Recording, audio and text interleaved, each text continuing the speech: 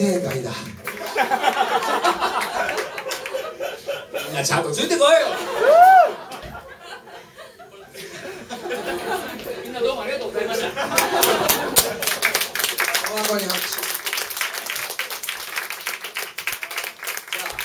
次は次の曲は黒沢大輔。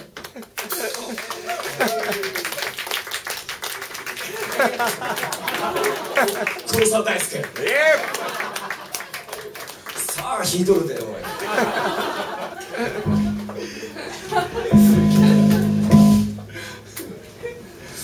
ずっとなんかね「ごめんねごめんね」っつって。かかりやすい。俺大丈夫だよね大丈夫だよねって言ってたから。1ミリも大丈夫じゃねえって言って。る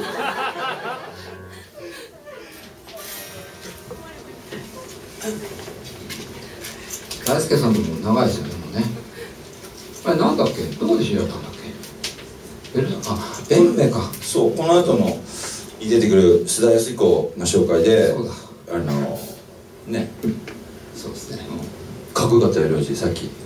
見てたけど。ありがとうございます。すごいね。俺大丈夫。俺大丈夫。俺大丈夫。ごめんね一番ね感動したのはねドラムの人のねスタミナ。あそこか。そこか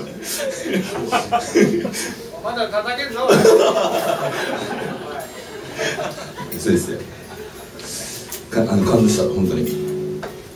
聞いてる俺の話。聞いてる聞いてる。ちょっと待って。いやでもあのあれですよ。奇跡の2人も2人の演奏させていただいてですね。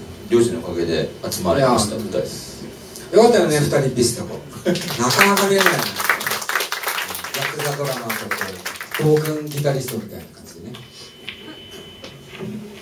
また弾いてるでさ じゃあ行きましょうか。じゃあはい。よろしくお願いしますきな曲でよくカバーしている大輔さんの曲を。誰も知らないミュージック